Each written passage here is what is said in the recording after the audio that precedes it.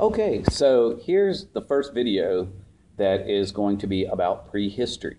And uh, I want to keep in mind, want you to keep in mind a couple of things. Like number one, if you if you feel like things are going too fast, don't forget you can pause the video and you can use your notes while you're going into this. And I recommend that you have a piece of paper and uh, you write down some questions that you may have or uh, any ideas that you think are really, really important as you watch the video. And uh, I'll come back on at the end and talk to you about a couple of key points and what are the main things that we want to get out of uh, the video that you're about ready to watch on uh, our prehistory notes. Okay, the first unit uh, and the first part is on how humans have changed, and we'll watch that right now. Bye bye. Okay, welcome to our first video for World History to 1500 with Mr. Berner. This is Unit 1, Part 1, and we're going to be talking about hunter-gatherers in this part of the uh, unit. And you shouldn't be surprised, it's about hunters and gatherers, and that's how they're going to find their food. Here is our SOL. We're going to talk about how geography had a huge impact on early hunter-gatherer societies. And then we're going to be listing the characteristics of hunter-gathering societies, including their use of tools and fire. Okay, so this is the Paleolithic age. That's where we're going to start. Paleo means old. Lithic means stone. So this era is known as the Old Stone Age. Now, why is it called the Old Stone Age? Well, I think you probably can figure it out. Almost all of the tools were made from you guessed it, stone. So the tools and weapons were made of stone, and that's why this is known as the Stone Age. okay, so what does Paleolithic mean? Make sure you fill that in on your notes. I got a cool old man with a rock, so you should be able to figure it out. Okay, so what did these earliest uh, ancestors of humans look like? Well, the first one we're going to talk about is Lucy. Lucy's scientific name is Australopithecus. So where do you think Lucy came from? Ah, uh, many of you may have guessed Australia, but that would not be right. Uh, the correct answer is Africa, and Eastern Africa to be uh, specific. Lucy was uh, a early primate of uh, human origin, and the big difference between Lucy and an ape was Lucy's hip bones, which allowed her to walk upright. Uh, she was not very tall, probably a little over three feet tall, and uh, obviously had a very elongated jaw and a smaller cranium. And we'll talk about how we think human ancestors or hominids changed over time. Check this out. Here is Australopithecus. You can see a huge freaking jaw and uh, a smaller head. Then you move next to Homo erectus, which had a smaller jawline and a bigger head.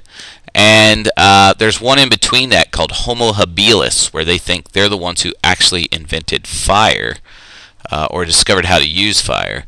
And then comes uh, the Homo sapiens. The first of those we think was the Neanderthal, and uh, somewhere around 100 to 200,000 years ago. And then lastly, you have Homo sapiens sapiens, which are modern humans, and uh, you can notice a much bigger melon and a much smaller jawline all the way over on the right. okay, so all of these ancestors are known as hominids. Hominids are humans and other creatures that walk upright on two feet. The earliest, as we talked about, was Australopithecus, or Lucy. These uh, first hominids are thought to have emerged in East Africa uh, in the Great Rift Valley around 3 to 4 million years ago. And then comes Homo habilis. It's a Latin word which means person with ability, meaning handy humans. Uh, they came uh, in a phase between Australopithecus and Homo erectus and it was somewhere between 2.5 and 1.6 million years ago. Then Homo erectus, which was about 1.8 million years ago, and uh, it means upright walking human being. And as you can see, the, the, the, the hominid that is here is starting to look more human-like. The first hominids to leave Africa and move to Europe and Asia were probably Homo erectus. They also used more complex tools. So they took that rock, which had been everyone's best buddy, and they tied it onto a stick. Yeah, he had a good club then. Or they might have even sharpened their rocks. Now we're really getting to be complex. You get the idea, right? All right. So using the chart and the article that I've given you and what we've talked about with some of the additional videos, I would like for you to examine some of the ways humans have changed and write some of these reasons right here on your notes. Okay, so let's talk about the field of archaeology. Archaeologists study the past uh, societies through the analysis of what people have left behind. Primarily artifacts. Artifacts are those things that people leave behind, and they can include all of these things. Tools, weapons, uh, art and sculpture, pottery, jewelry, human remains, ancient buildings, and monuments. So, all of these things could be studied by archaeologists. Fossils or human remains or animal or plant fossils are also studied by archaeologists and anthropologists. And we can learn a lot of things about those, like what people ate, uh, what animals they had around, and their way of life. Now, how do we know how long ago some of these things are when we find them? Well, there's a lot of different ways, but one of the primary ways is through carbon dating. Carbon dating uses the uh, radioactive isotope of carbon. It's called carbon-14, and it's in all things that are organic. In other words, all things that are ever alive, plants and animals. So when we die, we know that carbon-14 has a half-life of 5,000 years. That means it takes 5,000 years for a half of the carbon-14 in something to break down. If we know how much carbon-14 something has left, we can count back to how much it had at the beginning and determine its age. Now it's limited uh, to a certain degree, obviously, to things 50,000 years old or less to be terribly accurate.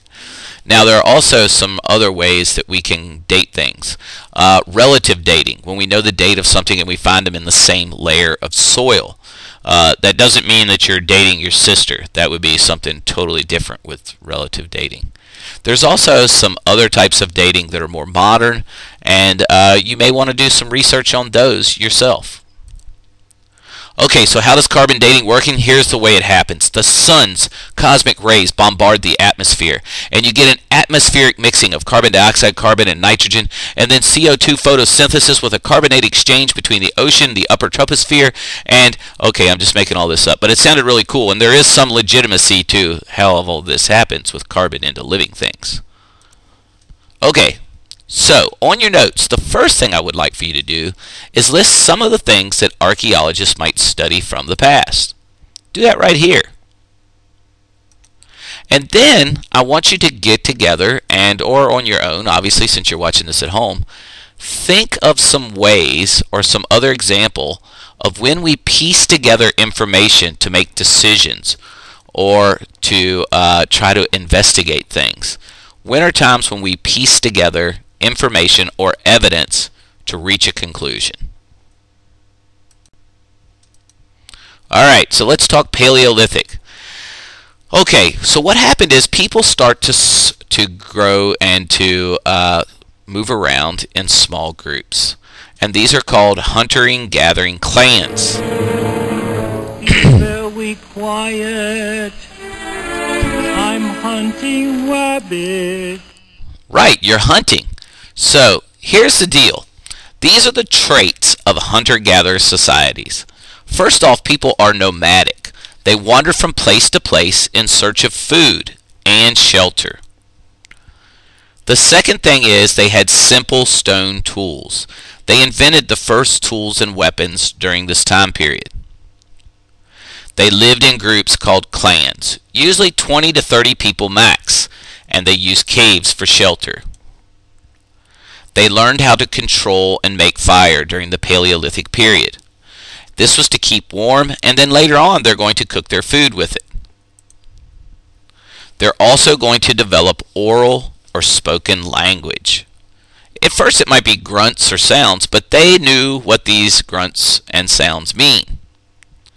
And then they're going to develop cave art. And cave art's important to us because it is a primary source of what these people did with their lives.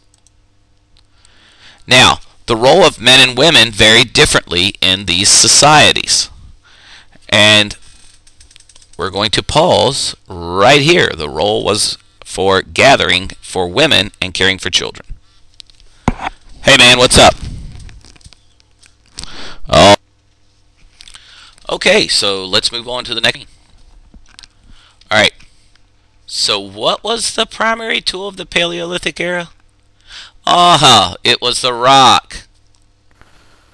Do you smell what the rock is cooking? Uh, it probably wasn't that rock, was it? Oh yeah, not this type of rock. Yeah, it probably wasn't that rock either, was it? That's the rock. And remember, this rock was a tool for everything, so it was probably better labeled as a Swiss Army rock. Hey, just because they had these tools didn't know how uh, mean they knew how to use them, right? Okay, so now here's what I want you to do. Take those six traits of hunter-gatherer societies. You know, nomadic, using stone tools, living in groups called clans, learning how to make and control fire, developing oral language, and making cave art. And I want you to rank them 1 through 6 and be able to defend your choice for which was most important. Right there. Okay, so what are the big ideas of this video? The first one is that early hominids developed in East Africa millions of years ago. The second is scientists use many techniques to study prehistory. And the last idea is that hunter-gatherers develop a group of traits which improve life and overcome environmental challenges. Okay, hope you enjoyed the video. Make sure you keep up with your notes and do your journals. Okay, so after watching the video, make sure that you answer the questions, jot those down on paper. Make sure that you've written some questions to help yourself out.